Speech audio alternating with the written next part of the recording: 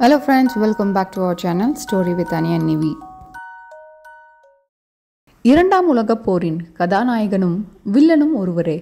அவர்தான் Adolf Hitler அவரை பற்றி தான் இந்த வீடியோவில் நம்ம பார்க்க போகிறோம் so let's get into this video video முதல் உலகப் போரின் பொழுது ஜெர்மனி படையில் இராணுவ வீரராக இருந்த ஹிட்லர் இரண்டாம் உலகப் போரின் பொழுது ஜெர்மனியின் சர்வாதிகாரியாக விளங்கினார். அவர் பெயரை கேட்டாலே உலகம் நடுங்கியது. இரண்டாம் உலகப் போர் முழுவதற்கும் அதன் மூலம் ஐந்து கோடி பேருக்கு மேல் சாவதற்கும் காரணமாக இருந்த ஹிட்லரின் வாழ்க்கை பல திருப்பங்களும் திடுக்கிடும் சம்பவங்களும் நிறைந்தது. வட ஆஸ்திரியாவில் உள்ள பிரணாவ் என்ற ஊரில் ஆயிரத்தி எட்நூற்றி எண்பத்தி ஒன்பதாம் ஆண்டு ஏப்ரல் இருபதாம் தேதி பிறந்தவர் ஹிட்லர்.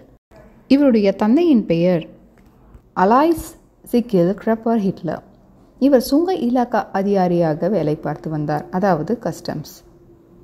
இவருக்கு மூன்று மனைவிகள். மூன்றாவது மனைவியான கிளாராவின் நான்காவது மகன் தான் ஹிட்லர். பிறந்தது முதலே ஹிட்லர் நோஞ்சானாக இருந்தார். அடிக்கடி காய்ச்சல் வரும். கிட்டத்தட்ட ஒரு வருடத்திற்கு பிறகுதான் உடம்பு தேறியது.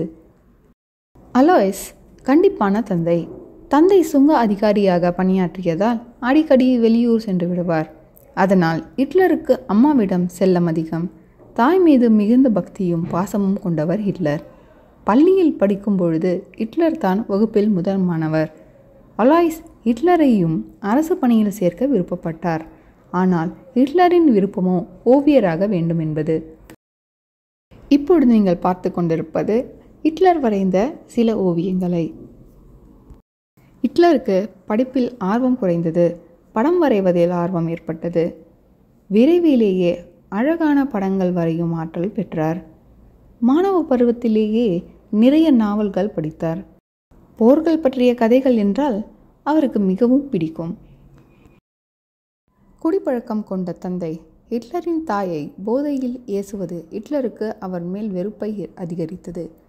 நிதானமாக இருந்தாலும் குடும்பத்தினரை அடிமையாக நடத்துவார். ஹிட்லரையும் வீட்டில் உள்ள நாயையும் ஒரே மாதிரி தான் நடத்துவார். அடால்ப் என்ற பெயரை சொல்லி ஹிட்லரை கூப்பிட மாட்டாராம். ஹிட்லரின் தந்தை அலாய்ஸ் ஒரு விசிலை எடுத்து ஊதியதும் ஹிட்லர் ஓடி வந்து அட்டென்ஷனில் நிற்க வேண்டுமாம். ஆயிரத்தி தொள்ளாயிரத்தி மூன்றாம் ஆண்டு ஹிட்லரின் தந்தை இறந்து போனார். தந்தையின் கண்டிப்பு இல்லாமல் வளர்ந்த ஹிட்லர் நாளுக்கு நாள் முரடனாக மாறினார். மாணவர்களுடன் சண்டை போடுவதுடன் ஆசிரியர்களுடனும் மோதினார். தனது பதினேழாம் வயதில் பள்ளி இறுதித் தேர்வில் தேறினார். ஹிட்லர் அதற்காக கொடுத்த சான்றிதழை வாங்கிக் கொண்டு வருகிற வழியில் நண்பர்களோடு சேர்ந்து மது அறிந்தினார் சர்டிபிகேட்டை கிழித்தும் எறிந்தார். இதை அறிந்த ஆசிரியர் அவரை கூப்பிட்டு கண்டித்தார். இனி என் வாழ்நாளில் சிகரெட்டையும் மதுவையும் தொடமாட்டேன் என்ற சபதம் செய்த ஹிட்லர் அதன்படி கடைசி மூச்சு உள்ளவரை சிகரெட்டையும் மதுவையும் அவர் தொடவில்லை. மாதா மாதம் வரும் அரசாங்க உதவி பணத்தில் குடும்பம் ஓடியது. பதினெட்டு வயதானவுடன் அம்மாவிடம் பணம் வாங்கி கொண்டு ஓவியராக போகிறேன் என்று சொல்லி ஆஸ்திரியாவின் தலைநகரமான வியன்னாவுக்கு ரயில் ஏறிவிட்டார். பிற்காலத்தில் ஜெர்மனிய வரலாற்று புத்தகங்களில் புதியதொரு சித்தாந்தத்தை உருவாக்க வேண்டும் என்று ஹிட்லர் தாயை பிரிந்ததாக கூறப்பட்டது. ஆனால் உண்மையிலேயே அவர் வியன்னாவின் ஆர்ட் அகாடமியில் சேரவே தாயை பிரிந்தார். ஆனால் அதற்கான நுழைவுத் தேர்வில் தோல்வி அடைந்தார். அடுத்த வருடமும் ஓவியப் பள்ளியில் சேர முயற்சி செய்தார். ஆனால் இம்முறை தேர்வில் கலந்து கொள்ளவே அனுமதி இல்லை. அந்த ஆண்டின் இறுதியில் ஹிட்லரின் தாயாரும் இறந்து போனார். அவமானங்களும் தோல்விகளுமே மிகப்பெரிய சாதனையாளர்களின் இளமை காலத்தில் நிரம்புகிறது. தாயின் சேமிப்பும் ஒரு வீடும் ஹிட்லருக்கு வந்து சேர்ந்தது.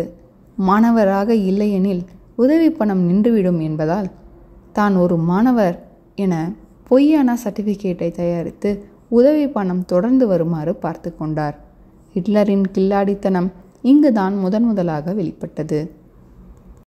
ஹிட்லர் அதன் பின் ஓவிய அட்டைகளை தயாரித்து பிழைப்பு நடத்தி வந்தார். இரவில் கூட மண்ணெண்ணெய் விளக்கு வெளிச்சத்தில் ஓவியங்களை வரைவார். சில மாடல் அழகிகளை வைத்து ஹிட்லர் வரைந்த படங்கள் நல்ல விலைக்கு போயின. அதனால் சொந்தமாக ஒரு ஓவிய கூடம் அமைத்தார். இந்த சமயத்தில் சிந்தியா என்ற பெண்ணை ஹிட்லர் காதலித்தார். காதல் தோல்வி அடைந்தார்.